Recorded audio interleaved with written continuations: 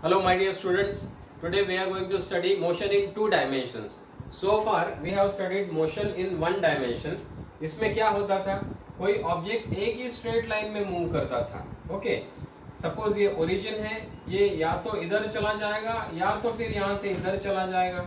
Okay but it will move only along a straight line इसलिए हम लोग इसको बोलते हैं motion along a single dimension और वन डायमेंशन क्लियर लेकिन आपने कभी कैरम खेला होगा तो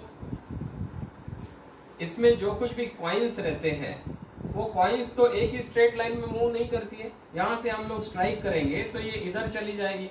सो so, इस केस में no this is not moving along straight line clear ये यहाँ से वहाँ चली गई।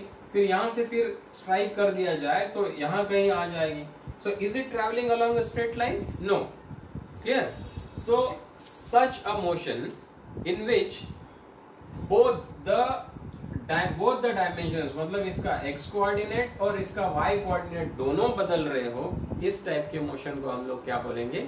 Motion in two dimension I think this is clear clear तो अब इसका, ये ऑब्जेक्ट का पोजीशन अगर हम लोगों को डिटरमाइन करना है तो इसमें दो कोऑर्डिनेट्स की ज़रूरत पड़ेगी। यहाँ अगर इसको हम लोग ओरिजिन मानते हैं, ये x एक्सिस मानते हैं और इसको अगर y एक्सिस मानते हैं तो इसका पोजीशन डिटरमाइन करने के लिए वी नीड टू कोऑर्डिनेट्स क्या क्या कोऑर्डिनेट्स लगेंगे? ये x कोऑर्डिनेट लगेगा और y कोऑर्डिनेट लगेगा. क्लियर फिर यहाँ से यहाँ चला गया. यहाँ पे नया पोजीशन डिटरमाइन करने के लिए फिर इसका x कोऑर्डिनेट की ज़रूरत पड़ेगी.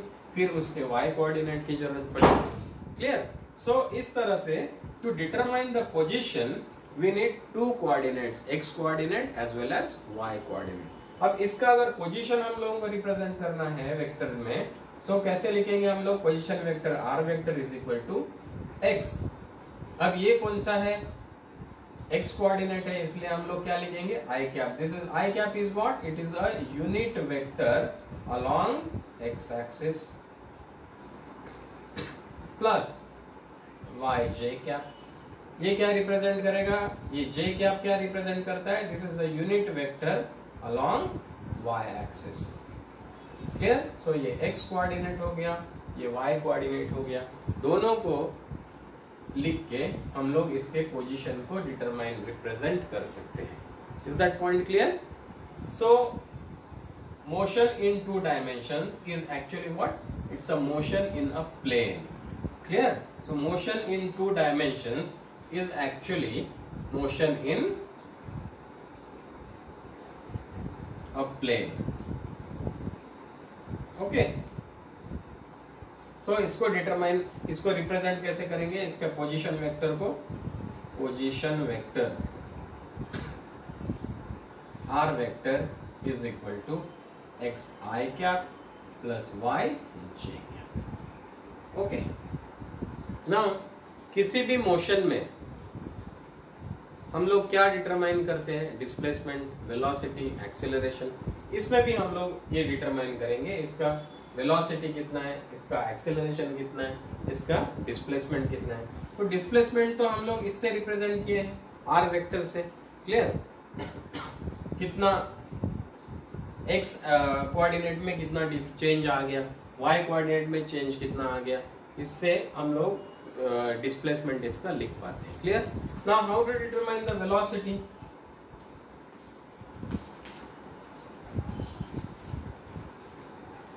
see what is velocity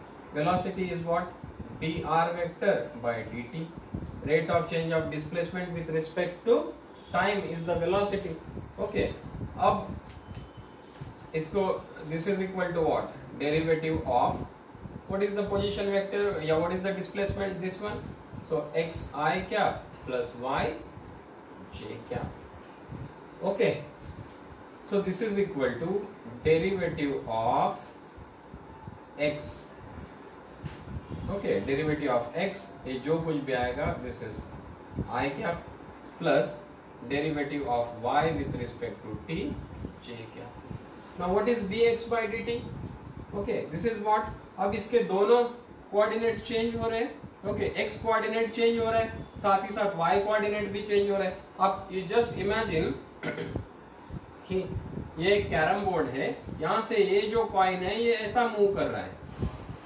क्या हो रहा है? देखिए इसका एक्स कोऑर्डिनेट को अगर हम लोग ट्रैक करते चलेंगे, यहाँ पे एक्स कोऑर्डिनेट ये है, यहाँ जब वो पहुंचेगी तो एक्स कोऑर्डिनेट ये है, यहाँ जब पहुंचेगी तो ये एक्स कोऑर्डिनेट है। See you know x coordinate is continuously changing is it clear यहाँ चला गया तो ये हो गया। यहाँ आ गया तो वापस ये हो गया। सो x coordinate is continuously changing ये एक्स का चेंज होने का rate Okay, this is called as velocity along the x-axis or x component of the velocity. Is this point clear?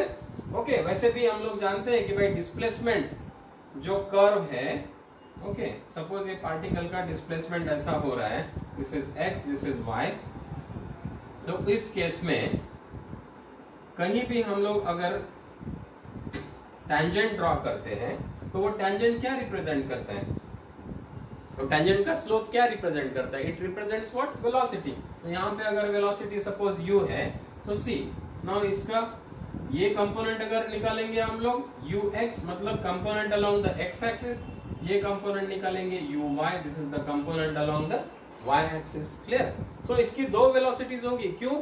क्योंकि इसके दोनों कोऑर्डिनेट्स चेंज हो रहे हैं। Is that point clear so x change होने का जो रेट होता है, इसको हम लोग बोलेंगे v x that is the x component of velocity इसको रिप्रेजेंट करने के लिए ये आई कैप लिखा हमने। Because i cap is a unit vector along the x axis is this point clear अब अपने आपको ये भी समझना होगा कि यहाँ से जो जा रहा है कॉइन यहाँ से ऐसे जाके सपोज़ ऐसा आ रहा है। तो जैसे एक्स चेंज हो रहा है, वैसे वैसे y भी चेंज हो रहा है यू जस्ट अंडरस्टैंड सी यहाँ पे जब ये होगा, ये इसका x कोऑर्डिनेट है, ये y कोऑर्डिनेट है। इज़ इट क्लियर यहाँ पे जब वो कौन पहुँच गया, यहाँ पे ये इसका एक्स कोऑर्डिनेट है तो ये इसका वाई कोऑर्डिनेट है।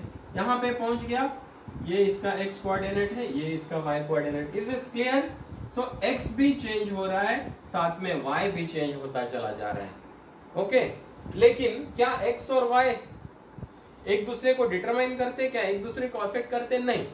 ये दोनों डायमेंशन के अलॉन्ग जो मोशन है, वो उनका एक दूसरे पे कोई इफ़ेक्ट नहीं है।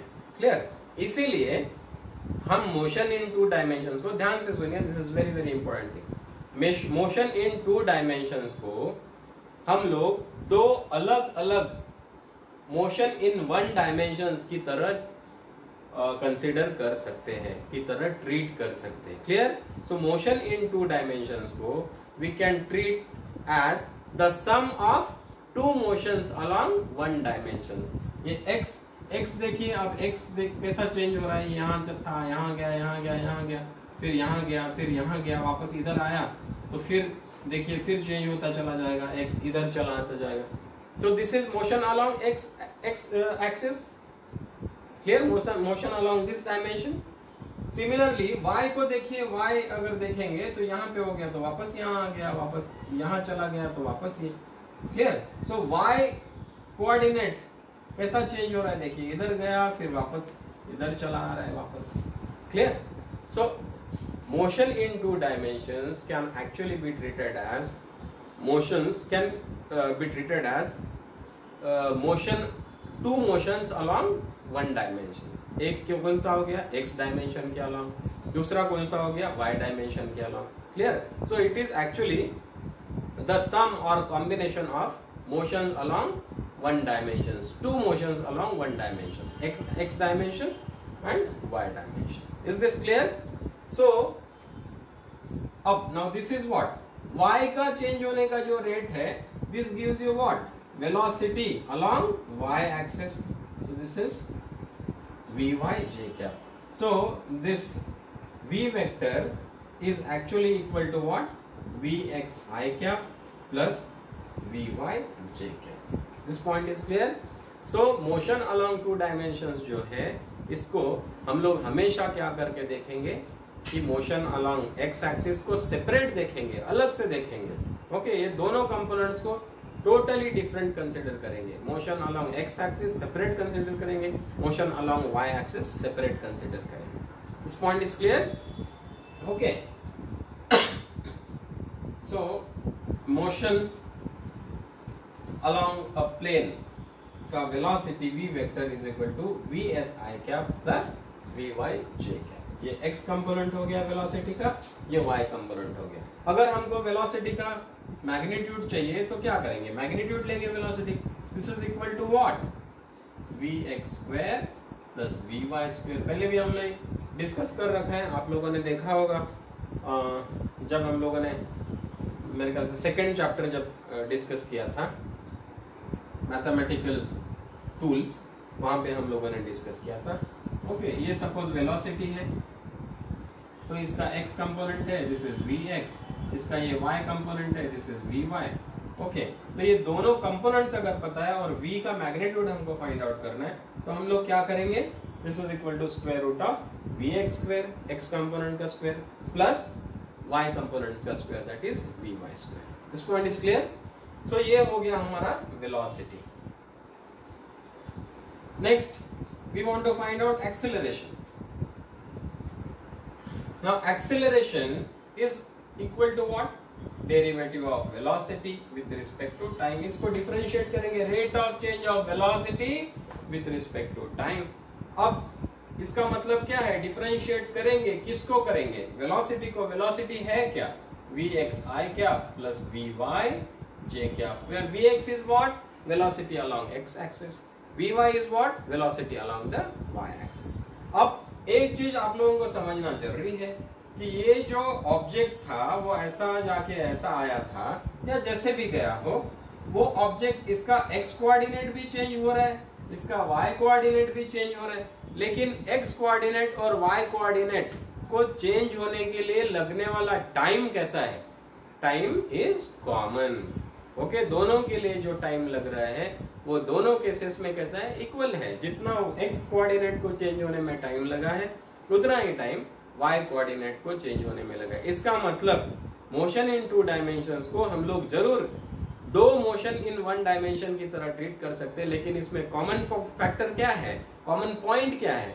कॉमन पॉइंट इज़ टाइम क्योंकि टाइम दोनों मोशंस के के लिए कॉमन है। Clear so time is what common और कॉन्स्टेंट जो दोनों मोशन को कंबाइन करेगा कनेक्ट करेगा। क्लियर सो so, अब this is equal to what this is equal to derivative of v x i क्या? ये वाला plus derivative of v y j क्या what is the rate of change of velocity with respect to time that is what acceleration तो हमको ये क्या मिलेगा ax that is x component of acceleration plus this is what y component of acceleration. So a vector is equal to ax i cap plus ay j cap. Clear? So इस तरह से हम लोग दो मोशन इन 1D को मिला के हमको क्या मिलेगा मोशन इन 2D दो मोशन इन 1D क्या होंगे एक तो x कोऑर्डिनेट के अलाउंग होगा, एक तो y कोऑर्डिनेट के अलाउंग होगा। ओके तो इन दोनों को जब कंबाइन करेंगे तो इनके कॉम्बिनेशन से हम लोगों को मोशन इन 2D मिलेगा। ओके चलिए, मैं ये तीनों चीज़ों को यहाँ पे लिखता हूँ। R vector is equal to x i cap plus y j cap okay v vector is equal to v x i cap y j cap and a vector is equal to a x i cap plus a y j okay तो जब भी motion in two dimension को treat करेंगे, दोनों, तुरंत हम लोग x और वाई को अलग अलग देखने, देख पाना चाहिए। ओके जितना हम लोग इनको अलग अलग देख पाएँगे, उतना हमारा काम आसान होगा, उतना ही हमारा काम परफेक्ट होगा। क्लियर नाउ सपोज़ हमको एक मोशन दिया हुआ है motion in two dimension that is r vector is equal to इसका x कंपोनेंट का सपोज़ चलो, r vector is equal to two t i cap plus three t j cap okay अब देखिए, हम लोगों ने बोला है कि भाई x और y को सेपरेट करके देखना है हर बार। Okay now this r vector या आर का एक्स कंपोनेंट क्या है? टू टी है। Y component is what three t okay now इसका वेलोसिटी फाइंड आउट करेंगे। V vector is equal to what v vector is equal to इसको differentiate करें with respect to time okay now two t का derivative क्या है? To तो constant है तो बाहर रहेगा। टी का derivative with respect to t क्या है? One okay. I क्या? प्लस 3 का 3t का derivative with respect to t क्या है? 3 तो कांस्टेंट है. T का derivative with respect to t is what 1 j क्या? सो वेलोसिटी क्या मिलेगा हमको? 2i क्या? Plus 3 j is this okay तो इसका मतलब ये वेलोसिटी के भी अलग अलग x और y को सेपरेटली हम लोग देखेंगे. X is what 2 y is what 3 okay now बचता है acceleration a vector derivative of this okay derivative of 2 2 is constant derivative of constant is 0 so 0 i cap plus 3 this is also constant so derivative of constant is again 0 j cap. So, acceleration कितना हो गया? Zero इसका मतलब constant velocity से ये particle move कर रहा है। दोनों वेलोसिटीज कांस्टेंट है देखिए एक्स कंपोनेंट भी कांस्टेंट है ओके वाई कंपोनेंट भी कांस्टेंट है। मतलब एक्स कोऑर्डिनेट चेंज होने का जो रेट है दैट इज़ अगर स्टैंडर्ड यूनिट्स में तो टू मीटर पर सेकेंड है, और वाई कोऑर्डिनेट चेंज होने का जो रेट है that is three metres per second clear अब, हमको इक्वेशन ऑफ़ ट्रेजेक्टरी अगर लिखना है equation of trajectory is what हमने पहले भी डिस्कस किया था trajectory is what path so equation of trajectory gives us what the path of the particle equation of the path of the particle now इस particle को अगर हम लोग देखेंगे तो इसका एक्स कंपोनेंट हम लोगों को पता है that is equal to two t y कैसा वेरी करता है? थ्री टी तो इक्वेशन ऑफ़ ट्रेजेक्टरी मतलब क्या है? हमको सिर्फ़ y और x के टर्म्स में क्योंकि इक्वेशन इन टू डायमेंशन है ना ये x चेंज होगा y चेंज होगा। ओके okay, तो मतलब y x के साथ कैसा चेंज होता है उसका हम लोगों को इक्वेशन चाहिए। मतलब y x और y के टर्म्स में सिर्फ़ इक्वेशन मिलता है that is the equation of trajectory अब इसको हमको t एलिमिनेट करना है क्या करेंगे? दोनों इक्वेशंस को डिवाइड करो। So so, y by x is equal to three t by two t okay t t cancel हो गया बचा क्या? थ्री बाई टू इसका मतलब y is equal to three by two x इसको इधर शिफ्ट कर लिया। ओके okay, ये जो इक्वेशन मिला this is called as what equation of trajectory equation of the path her point पे देखिए for different values of x, हमको डिफरेंट वैल्यूज़ ऑफ़ y मिलते चले जाएँगे। Clear? So this is how we get the equation of trajectory. This point clear? Hmm. सो ये किस type का equation है? This is equation of straight line y is equal to mx clear so इसका graph अगर बनाना है, इसका path अगर हम लोगों को बनाना है तो हमको कैसा मिलेगा इसका path this is y this is x okay equation the line passes to there is no y coordinate it passes to the origin so हमको ये क्या मिलेगा this will get a straight line इसका स्लोप कितना होगा 3 by 2 this point is clear understood so this is how we get velocity we get acceleration but we can we can always have the two components x component or y component separately clear और ये equation of trajectory होता है Okay चलिए one more example we will see so the things can be more clear